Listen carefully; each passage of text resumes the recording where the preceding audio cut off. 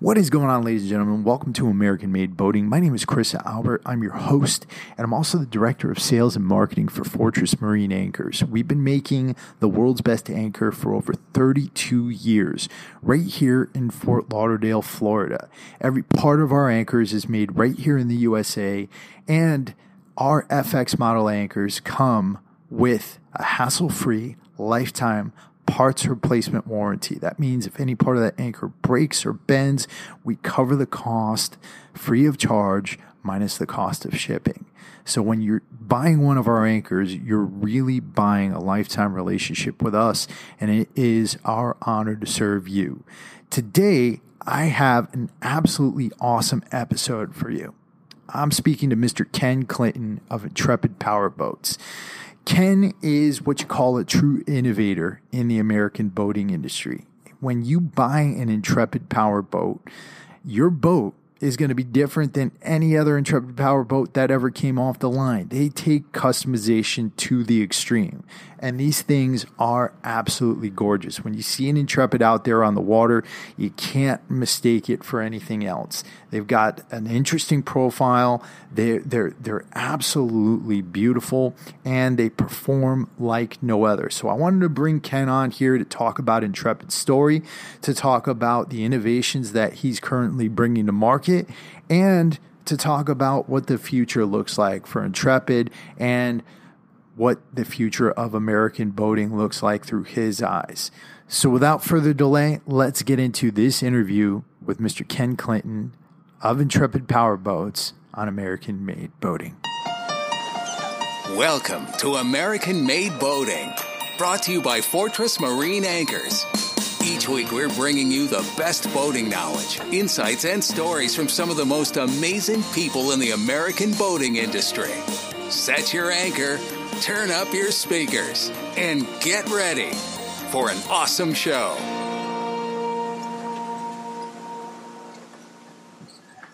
Mr. Ken Clinton, welcome to American Made Boating. How are you doing today, sir? Good, Chris. Good to be here. Awesome. Awesome. So, we're both from the great state of Connecticut. And, uh, you know, I was reading that about you. What was it like for you growing up in Connecticut and, and how'd you end up down here in Florida? Well, it's a little town where I was raised. It was uh, Danielson, Connecticut, which was kind of over by the Rhode Island line on the East Coast. And I got married very young. And on our honeymoon, we went to Florida to go to Busch Gardens. So we left Providence, Rhode Island airport in February with about eight inches of snow on the ground. And we landed in sunny Tampa and got off the plane and realized that there was green grass and leaves on the trees in February down here in Florida. Yeah. So we spent a week on our honeymoon down here. And then on the plane ride back, you know, I looked at my wife at the time and said, look, why do I have to wait till I'm too old to enjoy this weather? Uh, why why don't we just move? You know, and you know, the, a, when you're 19 years old, you're there's no fear. So you know, we went back and we packed up all our stuff and off to Florida we went. That's awesome. That's awesome. Very similar story on my end. I uh, I was in the Marine Corps and I was an Arctic cold weather specialist, and wow. I, I, was freezing, freezing, freezing cold. And I'd grown up with all these cold winters. When I got out, I was like, I'm never going to be cold again. So I moved to California first, then I moved here. nice. Um, so you got your start working on submarines, right? That's big up there in Connecticut, and um, yeah. and and then you were working at Triumph Yachts in, Ta- in Tampa afterwards. What did you take from those experiences when you started working with Intrepid? Well, it was funny because when I worked up in Connecticut, being a small town where we were, you really had to travel to make any money. And my father had worked at General Dynamics and Groton building subs for over 30 years. So it was like one of those things where, you know, your father did it and now you go do it. And I was a first class outside machinist. And, you know, I think it brought a lot of structure. Um, I think it was very disciplined doing work for the government. Mm-hmm. And when we moved to Florida, because I was a machinist and I had been to school for CNC programming, I figured that's what I would do down here. So in the beginning, I was applying everywhere as a CNC machinist. And then the the funny part about it was when we were down here on the honeymoon, I would ask everybody, you know, what the, what's the cost of living down here? What are the wages like? and everybody said, you know, you pay for the sun tax, and and uh, so you make a little bit less money. So I figured back then, and we're talking 31 years ago, I was making probably 13 $14 an hour, which was a lot of money back then. Yep. And I moved to Florida and I said, ah, I'll probably make $10 an hour. Don't worry about it. Well, I applied everywhere when I first got down here as a CNC programmer machinist. And I think the best job offer I had was like $6 an hour. I remember going home to my wife at one point and saying, wow, we really screwed up and I, we're in trouble. and so then I went to this place over in Tampa and they were, uh, Triumph Yachts was the name of it. They were a Genmar company at the time. And I went in for the interview, and the and the guy I'll never forget. His name was Henry, and he looked across the desk and he said, "Son, how do I know that you can build boats?" And I said, "You know what? I build submarines. I'll do everything opposite, and it'll float instead of sink." and the guy said, "You know what? I really like you, kid. I'm going to give you a shot." You know, so I I went into that, and and the where they put me was installing inboard engines. I was an MEP guy, so I did 454 Mercuries, uh, Crusaders. There was remote V drives. They were all inboard stuff. So, you know, we were doing uh, shaft logs and rudder ports and and all that stuff. And and within a month, I, I, just really had a knack for it. They called me in the office and they said, "Look, we would like to put you in charge of our MAP department. You know, would you be interested in it?" I said, "Yeah, if you're asking me if I can teach people how to line metal up in a straight line, sure." You know, and and that's kind of how my management uh, I guess, career in the boating industry started. That's awesome. That's awesome. That must have been such a great experience to have that at such a young age. Yeah, and I'll tell you, it was also a challenge because you know I was there for about a year, and the luxury tax went through, which mm-hmm. destroyed our industry. So, being a Genmar company, what it what they did is they they basically shrunk everything down and and they moved the Triumph project. They closed it down. They kept just a handful of us managers, and they moved us to Sarasota to the Wellcraft facility. So we went to Wellcraft. I was down there for a few months and uh, got let go from there. Just the industry was just, you know, terrible at the time. So a, a, company moved in, which was Super Hawaii Intrepid, which was owned by a Japanese gentleman at the time, and during this consolidation, Viking Yachts did the same thing. And Viking had a facility here in St. Petersburg, Florida, and they closed it and they moved it up to New Jersey. So there was this large empty facility that was here with a bunch of skilled labor around it that built boats. So um, when they moved in, I applied and I kind of lowballed my way in to get in there and and started off as a boat builder there the the hard part was is my career once again started taking off pretty quick and when you're that young and you're starting to manage uh, people that have been in the industry for a while it's tough you know yeah. i think by the time i was 25 i was a plant manager of intrepid powerboats oh, wow. you know and and I'm, I'm managing guys that you know they would tell me you know you were crapping in your diapers when i was building boats you know and and but I had to earn their respect. You know, I had to earn their respect and show them that I had a skill set that uh, was worth following as a leader, and uh, it it worked out. That's so important. That's so important. And I had um, I had Pat Healey from Viking on here uh, a couple of weeks ago, and he was saying the same thing about the luxury tax. It was kind of like a, a death knell for the industry for a bit. Yeah, it was scary. You know, it was one of those things where, you know, it reminds you that what you do for a living, nobody needs. You know, nobody needs a boat. Right. So, you know, it's one of those things where you, it has driven me to be the best that I can be. Because if mm-hmm. you're going to build something that nobody needs to ensure your success of the company, you better be the best at it in the industry. Yeah. And you know, you guys are known for your innovations, right? So so every boat you build is different from another one, but you're also innovative in your business model. You don't have a dealer network, you don't have stock boats, you don't keep a showroom or anything like that. And I, I imagine that's probably been very helpful during these times with COVID nineteen and everything. But but how did you come about uh, bringing a, bringing out that business model? What what made you do that? Well, it's one of those things where we wanted to put a lot more man hours into our boats because we break a lot of rules. We break a lot of rules in how we build it. And the penalty for that is you you have to put in a lot of extra man hours. You use uh, expensive materials. And if we had a dealership network as well, where they need to be able to make their margin on top of what we have to do, we'd be priced out of the market. So we kind of painted ourselves in a corner in a sense that, you know, if we wanted to build these these boats uh, the way that we felt that they should be built, then we're going to have to figure out a business model that we can still be profitable. And and we in the beginning it was more along the lines of not being able to afford to have a, a, a, dealership network that turned into something that was more of a relationship with our customers. What's great about the business model the way we have it is most manufacturers don't even know who their end user is until they get a warranty card in the mail saying that John Smith bought one of their boats. Yeah. With us, we sit across the table from our customers and we we know who they are we know their wives their kids what they do for a living we we sit down and do design sessions with them and we tailor this build to how they use the boat and it's those relationships that really not only uh, does it does it build a loyalty base to our brand but it's one of those things where they help engineer our boats they're the ones that when you sit across them, you hear directly from the customer how they use the boat and what's important to them. And then you go into your next design session for your next boat. Those are the things that I replay in my head over and over again to ensure that we we continue to evolve and continue to bring out new innovative ideas.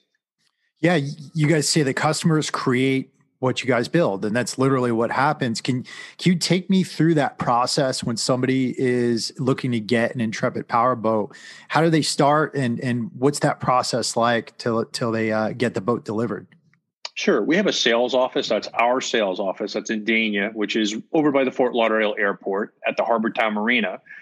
So it starts usually there. They go in, uh, it's on the water. So if we need to do a sea trial or, you know, some way for them to see how the boat runs with it being a deep V step bottom boat and being able to see that offshore performance. We start there, we figure out what model they want. Then they give a deposit, we sign a contract, and we figure out what are the options? How do you use the boat? We don't have packages. We don't have, you can get the fishing package or you can get, you know, the, the diving package. We ask you, how do you use your boat? And we cherry pick the things that are important to you without having to stick a bunch of stuff in the boat that you may not use. So it's really tailored to you, even right down to the color selections, the material selections, how the material is sewn, whether it's top stitch or roll and pleat. Uh, we really zero in ex- to make it exactly what you're looking to have for your own boat. That's awesome. That's awesome. And I've heard you say something like uh, geometry. I don't let geometry dictate my creativity. Uh, what does that mean? Well, that's the the mindset of a naive young boat builder who would come up with these really neat, intricate designs for parts, and I would have toolers, people who make the plugs and molds, and engineers that would tell me when I'd say, "Hey, can we recess the switch panel on the side for the battery switches?" And they'd say, "No, you can't do that. It creates a lock, and you won't be able to get the part out of the mold." Or I'd say, "Can we do a style line on the side of the console so that way it's you know it's not this big flat blank wall that you're looking at?" And they would say, "No, you can't do that. It, it becomes a lock." So it just got to a point where I'm not really good when, at people telling me not to do things. so I just got to a point where I said, you know what? We're going to build the plug in the mold the way that I want to do it with the designs that I want, and we'll figure out how to get the part out of the mold. So eventually, what it turned into was we had to figure out ways to split the mold so where you could pull one side of the mold off and pull the other side and pull the top off. So you pull all these sections of the molds apart to get that part out which creates a lot of labor. So it's a lot of labor to not only build the part that way, then when you get the part out of the mold, even though it's one solid piece, you have to refinish the entire part.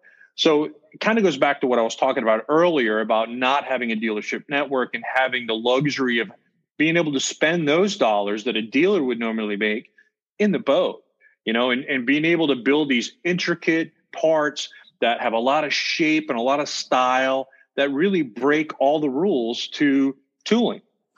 That's awesome. Now, another thing that happens in your process is you guys actually build an a full scale model of the boat that you can actually walk through that you can actually you can actually step into why is that important uh, how did you come about doing that well we do that when we tool new models and mm-hmm. the reason for that is you know i, I think when you, you watch a lot of other manufacturers out there, what they do is they draw everything out. Everybody gives it a thumbs up. Everybody gives it their approval, and then it goes to some place where they usually, in the, at this day and age, cut everything on a five-axis mill. So they're cutting whether it's the plugs or the molds, and then all these molds to create what they drew show up back at the factory, and you build all of the parts and you put this boat together. Well, if I had a dollar for every time that we drew everything, that I gave it a thumbs up, that I thought was awesome, and then when we mocked it up was not the case, I could have retired a long time ago because when we draw this, it, you know, it takes probably 50 renditions to get to where you want to, to be. But once again, it's just on paper. So you'll get everything mocked up and, you know, I'll go up there and I'll sit down in it and I'll go, this is terrible. You know, everybody looks at me and goes, yeah, but you approved the drawing and you said to go ahead and build it. And I go, no, I know. And everybody did exactly what we were supposed to do. But I know it looked great on a piece of paper, but this is uncomfortable or I, I can't see over the gunnel or, you know, there's all these different aspects that come into play when you actually get to sit on it. And when if you're a manufacturer that that draws everything and then just sends it to a, a, a tooling shop to have everything cut when you get it back you're stuck with it. You know you you've already you're fully vested in this tooling project whereas we're not you know and we'll change things a hundred times going throughout because every little time you tweak something or change something it affects something else. But i think that really brings us back to not having to settle you know and, and making sure that it's the best that it can be when it leaves our factory. Absolutely. Now, one other thing is that you and I are, are, are pretty lucky individuals in that we're in indus- we're in an industry that that thrived during COVID nineteen. We gained thousands of new boaters uh, in the midst of the crisis. But I remember back in March and April, things weren't. We didn't know what was going to happen. That that this was going to happen.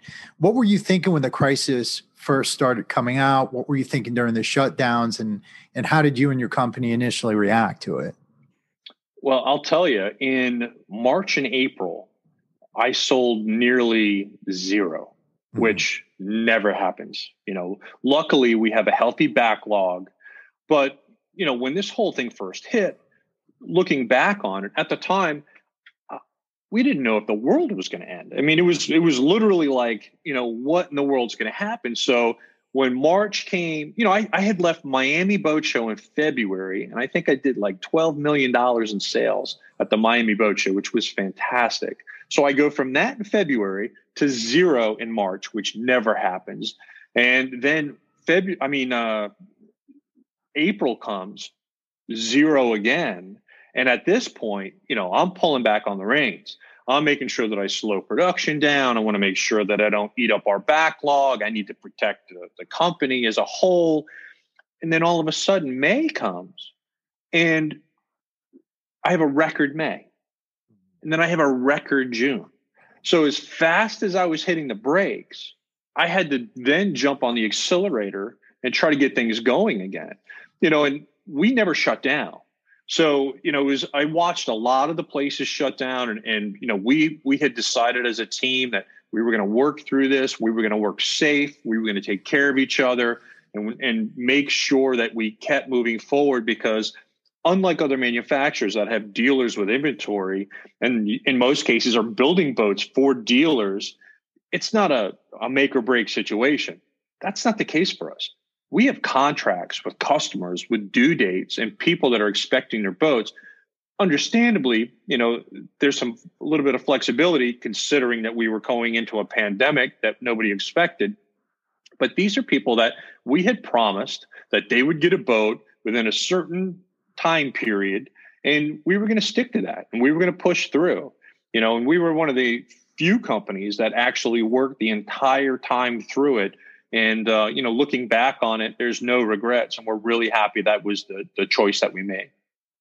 Yeah, I, I, I, mean, it was crazy to see what the difference was between March and May. Because May, all of a sudden, you start hearing things. I mean, over here at Fortress Anchors, we started getting tons and tons of orders, trying to keep up with demand, and it went literally from death knell to we need these these your product right now. And and I can't imagine how crazy it got for you guys. Um, what do you think the keys are to ensuring that all these new boaters we gained in 2020 stay boating in 2021? What's going to keep them on the water? I think that it starts with making sure that we all take care of them.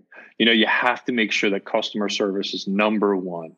You know, when you go to use your boat, you want to make sure that you are just going out to have a good time. Most of the people that can afford our type of boats are busy people, very busy people. So when they get windows of opportunity to use their boat, they want to use it. They don't want any grief. They don't want it to not run. They don't want it to have any issues. So it's important that you find a way to keep everybody happy because when they get the opportunity to use their boat and they get that window and they take it and they use it, they love it. And that's when they realize how important boating is to their life, to their family, to their sanity during these crazy times. And that's how you keep them but you keep them by by allowing them to continue to enjoy boating the way that we do. Absolutely. And, and what's your advice to these new boaters as as they're getting out to the water the, for uh, their first couple of seasons? I think the biggest thing is just make sure you have fun. Be safe. Mm-hmm. You know, uh, always make sure safety is number one because nothing can screw up a good time it, it, faster than somebody getting hurt or or somebody being careless. If you're very new to boating, make sure you take some boating courses. Make sure you go out with some friends that have had boats a while. You know, with us, you know, if you, I've had many customers buy a, a boat for the first time from us, and we put a captain with them we'll put a captain with them. We make sure that we not only sea trial them and teach them how to use the boat, we'll call them back a week or two later and go, Hey, how are you doing? You know, do you want the captain to come out and, you know, spend another day with you? And because that's what makes it fun when you can get to the point where you can enjoy yourself and you can relax a little bit and understand all the systems and understand how the electronics work. You know, I can't speak for anyone else, but I know that when I buy a new car, you know, the dealer's trying to explain everything to me in the parking lot. And I'm like, just get out of my car. Just let me go. You know, I, let me go, let me go use this. You know, and a couple weeks goes by and half the things he was trying to tell you in the first place that you weren't really paying attention to, you're going, so how in the world does this work? And how do I turn this on? So, you know, knowing that is how I am, you know, we make sure that we do the same thing with our customers and we reach out again and give them an opportunity to, to, you know, freshen up on some of the things that we spoke about and then they've had enough time to actually use the boat and they have questions. So it's important to make sure everybody's comfortable. What's getting you excited for the future of boating and, and uh, what innovations are you trying to set for 2021? I like doing things first. You know, mm-hmm. I, I, like uh, that's the biggest kick for me. You know, back when we did the first dive door, we did 35 inch shafts before anybody else did. You know, we built the first quad Yamaha control before Yamaha would do it. You know, I could go on and on of all the things that we've done before everybody else, and and that's what that's what drives me. You know, because a lot of the times too, when you come out with something new, the industry follows suit and they will do their version of what you just came out with. And that's what pushes me to make sure that when they're, you know, copying the last thing that we did, that we're coming out with this thing you know, and, and making sure that when customers get on my boat at a boat show, I want to hear, do you see what they did now? Can you believe what they did this time? You know, it's it's continuing to make sure that that we blow people's minds and and be able to go in places and in areas where others haven't and to be able to take it to that next level you know the last thing that we did um, was you know i I had customers that were asking us for step boxes. And I was like, why did you, all of a sudden we're getting requests for step boxes? Well, maybe the wife's a little bit shorter, or maybe one of the kids runs the boat sometimes and they want to have a good visibility. So, you know, you make this step box, you figure out a way to, you know, secure it properly and safely to the cockpit sole. Uh, but then you need to be able to remove it quickly, and you got to have a place to store it in case dad wants to drive now and he doesn't want the step box there. You know, and, and you hear this and you get three or four requests for this, and you go, you know what? There's got to be a better way. You know, I got with the team and I said, you know what? I want to do something where we just take the sole of the boat just behind the helm and we're going to make it lift four to five inches. You're going to push a button and it's going to raise up. It's going to give them the visibility they want at the push of a button. And then when somebody taller comes along, pushes the button and it goes away. It's those kind of innovations that I love, you know, making sure that, you know, not only does it make it more fun and more comfortable for the person running the boat, for our boaters, it's it's innovation. It's it's something that nobody else is doing that we did and and having that back pressure really is what drives us to create new product. That's amazing. Now, in an environment like this with your employees, they're they're they're obviously proficient technicians, but in a lot of ways they're also artisans, right? They're they're they're building craft. And you know, you need talent for this. How how do you find such amazing talent and how do you keep it on board? Well, it, there's a saying that says you're only as good as the people that are around you, and that's true. You know, I'm blessed with the the most amazing craftspeople and, and management team and engineering team that you could ever imagine. And when we built the, the office that I'm in right now, you know, we were in a literally what looked like a double wide trailer for 18 years.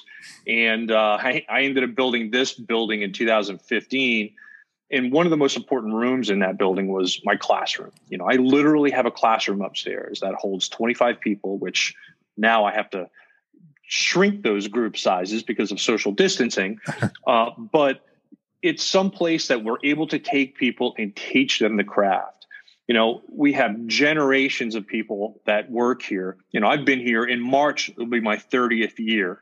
And I've got people that have worked with me the entire time that the you know the same amount of uh, years that I've been here. So being able to have that kind of group with that kind of experience be able to teach the next group you know you have to make sure that you show them there's a future in it you show them that there's good money in it you know a lot of them are even children of people that have worked here for 25 30 years who've seen their parents have a, a beautiful home and new cars and you know they see that this is something that they can do long term. And there's nothing better than doing it for a company that is the best, you know, and that's that's what we press is, you know, we are the best at what we do. And don't you want to be a part of of a team, of a family that's the best? And they do. You know, they they have a lot of pride. They love what they do, and they're always up to the challenge. That's amazing. That's amazing. Um, so you, I know you guys have a couple of new boats that are either in introduction or, or being introduced right now. You have the 409 Valor, the 438 Evolution. Um, what else do you guys have in store for 2021? Do you want to tell the audience a little bit about those two models, and and uh, then we'll get into how people can get their own their own Intrepids. Sure. The four uh, 09 Valor was a boat that we were going to debut at the Palm Beach Boat Show, which got canceled because of the pandemic. So this is really going to be the first boat show that it goes to. Uh, it's a it's a 40 foot boat that has uh, an aft berth in the cabin. It's got a settee forward with a high low table that creates another queen berth forward, full galley, separate head and shower, um, set up with a lot of forward seating out in the cockpit as well. So that way the helmsman can be a part of the conversation by being able to look forward and talk to those people. Uh, it's a triple application or twin application. Most of them are triples. And uh, shortly thereafter, we did the 438 Evolution, which is from our sport yacht series. You know, so that's a boat that is one size down from our 477 Evolution. So our 477 is a two stateroom boat whereas the 438 Evolution is a single stateroom boat with a full conversion settee as well, large galley, fridge freezer, uh, large separate head and shower. So, you know, the biggest thing for us is being able to have a good sized cabin that you can overnight in, to have a lot of cockpit seating because look, most of the time when you're on a boat, you want to be outside. So we give lots of coverage, yet we give you the opportunity to be able to sit outside. Uh, we have big, large bait wells in the back corners with windows in them, so you can hardcore fish. If you want to do tuna tubes or sea chests with pressurized systems, you know, we'll rig it as far as you want to rig it. And what we've found is most of our customers want a boat that's very ambidextrous. They want a boat that they can go fish hard with the boys on Saturday, even if they want to go pro fish it for a tournament. And then on Sunday, if the wife wants to go out to the sandbar and hang out or go to a restaurant, it's both. So that's really what we've done uh, with those models. Very cool. Very cool. And how can people get in touch with you if they want to get their own Intrepid? Sure.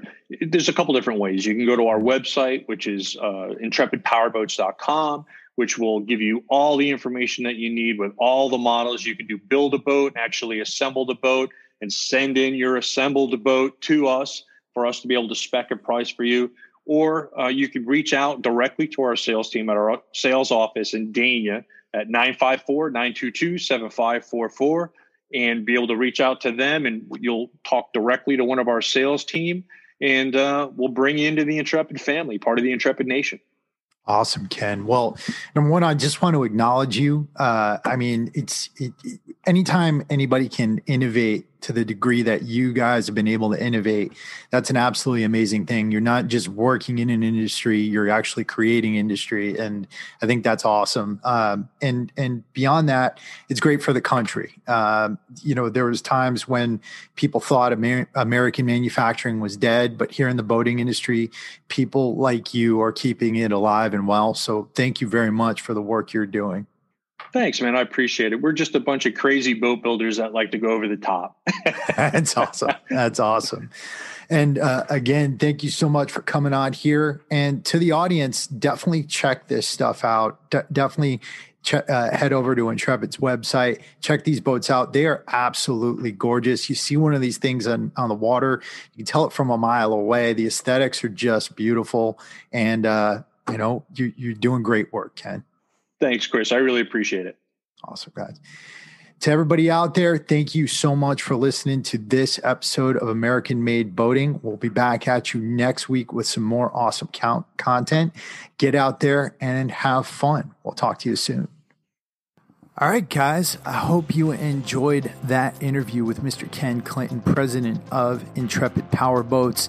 I know I was absolutely fascinated by the conversation, and I am always fascinated by the boats he produces. Listen, guys, um, we are four episodes deep in American made boating, and I hope you guys are enjoying what we've got going on so far. I got to ask you all for a favor. Number one, if you can, if you're listening on iTunes, uh, please head over and write a review for the show. It helps so much to spread word about the show. It helps so much to let people know about what we're doing here. And it helps to get the word out to other guests that this is a place where they want to come on and be interviewed. So, the more you guys do this for us, the more we're going to be able to get better interviews for you over here to get you great guests and get you awesome content that you're going to be able to listen to each week. Uh, my goal here is to help you out to, to get you the knowledge, the insights, and the inspiration that you need to keep boating through the long haul. So, anything that you want me to cover, any new guests you want me to put on here, please reach out to us at info at fortressanchors.com and we're always happy to take suggestions. And we're starting up some social media here. So if you want to get in touch with us, you can hit us up at Fortress Marine Anchors USA on Instagram or at Fortress Anchors on Twitter. I want to thank you guys so much for listening. We're going to be back at you next week with another awesome interview. We're bringing Captain Jack on from the Two Conchs Charters out there in Marathon, Florida, in the Florida Keys to talk about fishing and what you should know before heading out in the water and trying to catch your own limit. This is Chris Albert with American Made Boating coming to you from Fortress Anchors World Headquarters here in Fort Lauderdale, Florida. And I'll talk to you.